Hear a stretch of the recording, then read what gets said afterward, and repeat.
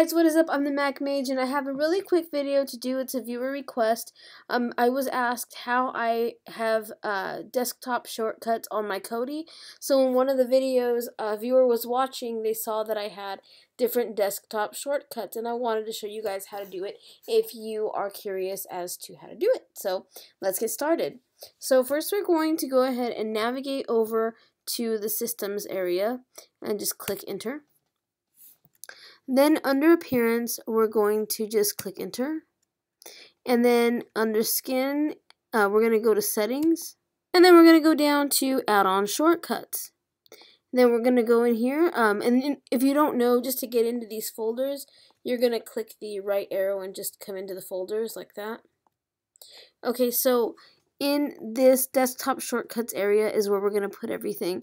So in your videos section, you can just click in here and then you can start selecting different video add-ons to add to your um, to add to your shortcuts. So I'm going to add Reaper.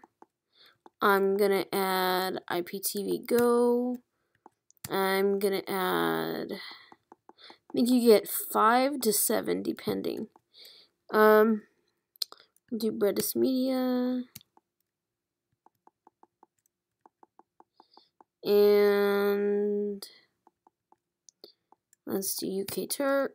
And finally I'll put in here the pyramid.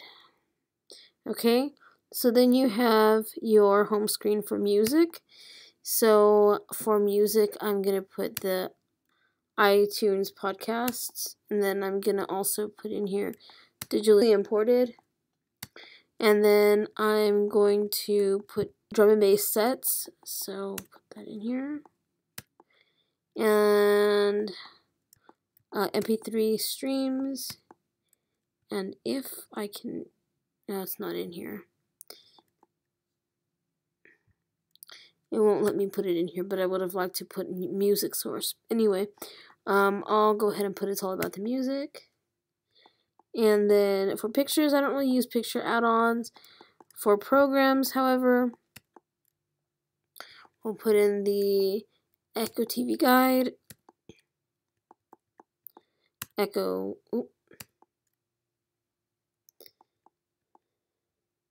Echo Wizard,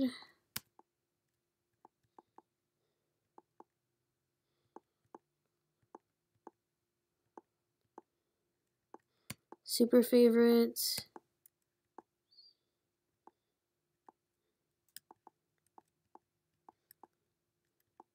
Just do my Renegades guide here. And finally, add-on installer from Fusion. Alright, so once that's done, just click, click escape till you get back to the home screen. And so now as you can see, uh, videos, music, and programs are now populated with add-on shortcuts. So that's all you need to do, simple, quick, and easy. Hopefully this video did help you out. If it did, please like and share. Also, please remember to subscribe to my YouTube channel as your support continues to motivate me to do what I do. So thank you guys for watching, and I'll catch you in the next one.